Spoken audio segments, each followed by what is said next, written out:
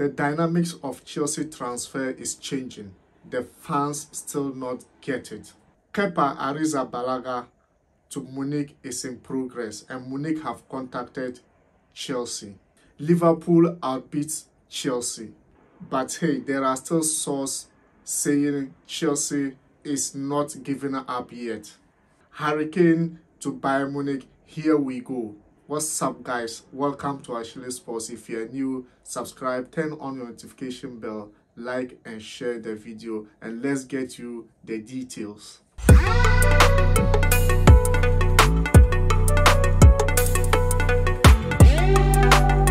Finally, Bayern Munich have decided to contact Chelsea for Kepa Ariza Balaga.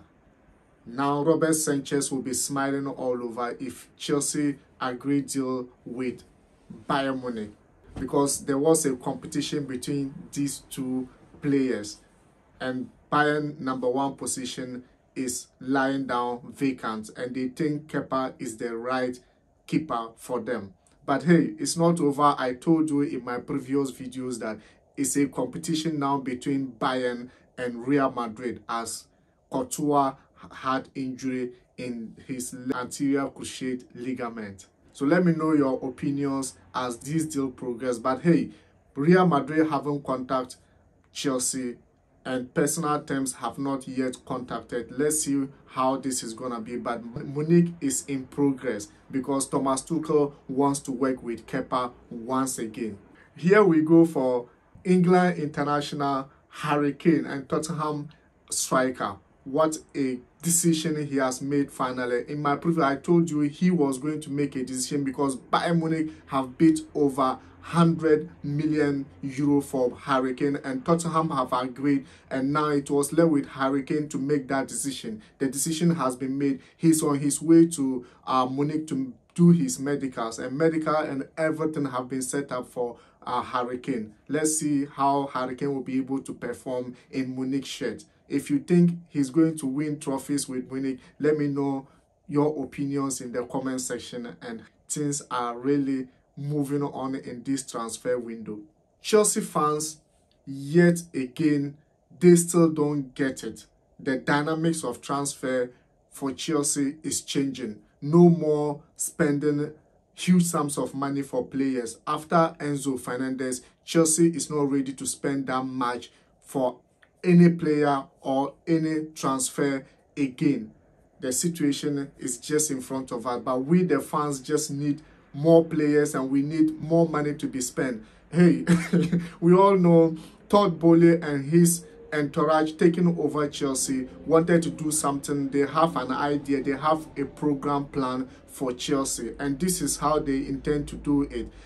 After following Caicedo for over three months, refused to give what Brighton is asking for, Liverpool have come on to overbeat Chelsea. And hey, it was a battle, and the battle was just Brighton needed a team who will overbeat each other between Chelsea and Liverpool. In the finals last night, Chelsea were able to beat up to 100 million, the asking price for Brighton. But hey, Liverpool overbeat of 110 million and now papers are being signed for Liverpool. But other sources are still saying that Chelsea is not giving up yet. But is it that they are going to break bank again for Moises Caicedo? Because the player really wants to come to Chelsea and he has been saying it, made it clear to Brighton that the only team he wants to go is Chelsea. But now Brighton intend to sign him for Liverpool because Liverpool overbeat Chelsea. Is there going to be changes in this? I don't think so this transfer window, we all see what the board and Lawrence are doing. They are signing players under 50 million.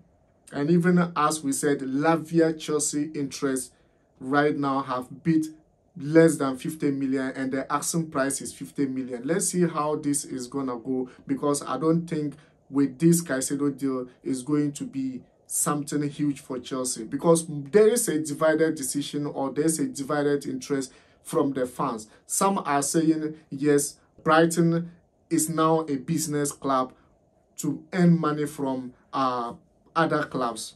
because they had Caicedo for just 4.4 million uh, euros and now they are selling him over 100 million pounds for sure. And others think Caicedo doesn't worth that, that kind of amount. Others think Chelsea just given if they knew they needed a player and they knew they could meet up the asking price for Brighton, why then they do it previous months ago?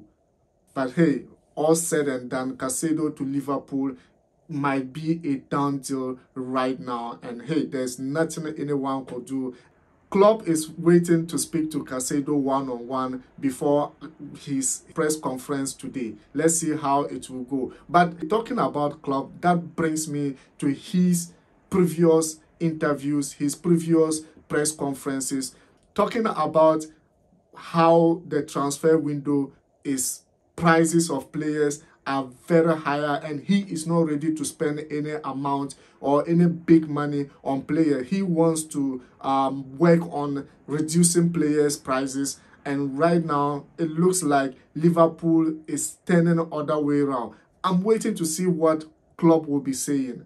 I'm waiting to see what he is really going to speak with Caicedo or his press conference, what he's really going to say about Caicedo because this is a record signing in the Premier League. 110 million pounds has never happened before and has never happened. Enzo was the only player close, but we this season transfer window we saw similar of Arsenal and West Ham for Declan Rice, but it was just 105 million pounds. But hey, Caicedo have beaten the record. But let's wait and see whether Chelsea will overbeat uh, Liverpool or is still going to stay like this. Let me know your opinions, guys. If you just join us and you are new, remember to hit the subscription button, turn on your notification bell, like and share the video, and I'm going to see you in the next video.